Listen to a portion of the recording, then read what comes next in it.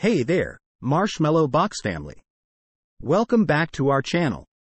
Today, we've got something truly thrilling and explosive to share with you all. We're diving deep into the world of science, history, and cinematic brilliance with the newly released movie that's taking the world by storm, Oppenheimer. Oppenheimer is an epic biographical thriller film written and directed by the legendary Christopher Nolan.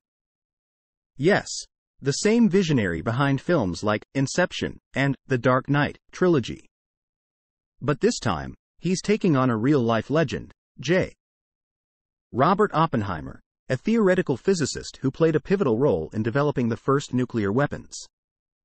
The film is based on the captivating 2005 biography, American Prometheus, by Kai Bird and Martin J.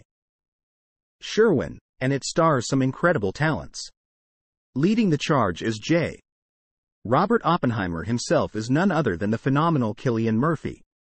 And joining him are Emily Blunt as Oppenheimer's wife, Katherine Kitty Oppenheimer, Matt Damon as General Leslie Groves, the military handler, and the one and only Robert Downey Jr. As Lewis Strauss, a senior member of the United States Atomic Energy Commission. And that's just the beginning. The supporting cast includes Florence Pugh, Josh Hartnett, Casey Affleck, Rami Malek, and Kenneth Branagh. Now, let me tell you about the production of Oppenheimer. Filming took place from February to May, combining the breathtaking IMAX 65mm and 65mm large format film. And here's a fascinating tidbit. For the first time, Nolan used sections in IMAX black and white analog photography. He's all about practical effects, so minimal computer-generated imagery was used, just like in his other brilliant works. But wait, there's more. Do you know how Oppenheimer even came into existence? The idea of adapting the biography, American Prometheus, had been floating around in Hollywood for years. Director Sam Mendes had shown interest, but the project remained stuck in development limbo.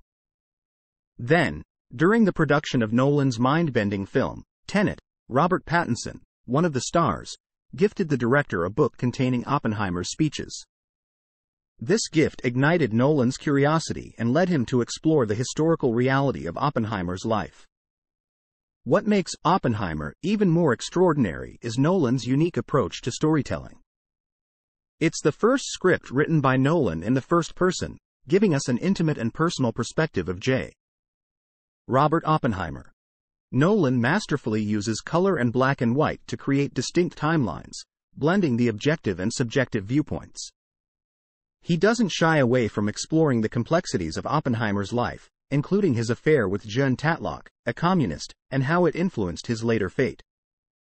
As we delve into the plot of Oppenheimer, we witness a young and brilliant Oppenheimer grappling with homesickness and anxiety at the Cavendish Laboratory. But fate intervenes when he stops Niels Bohr from unknowingly eating a poisoned apple. Oppenheimer's thirst for knowledge leads him back to the United States, where he dedicates his life to the development of nuclear weapons. But as World War II ends, the moral implications of their creation come to light, leading to devastating consequences. The wait for Oppenheimer was well worth it, as the film has taken the world by storm with its stunning visuals and Cillian Murphy's tour de force performance as the titular character. Critics have unanimously praised the film, calling it a masterpiece and one of Nolan's best works.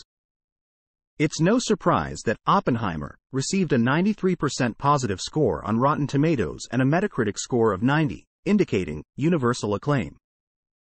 Oppenheimer is not just a movie, it's an immersive experience that will leave you pondering the depths of history and the human condition. So, mark your calendars, grab your popcorn, and head to the theaters for a journey you won't forget. Thanks for joining me today, Marshmallow Box family. Stay curious, stay passionate, and keep exploring the captivating world of cinema. Don't forget to share your thoughts with us after watching the film. We can't wait to hear what you think.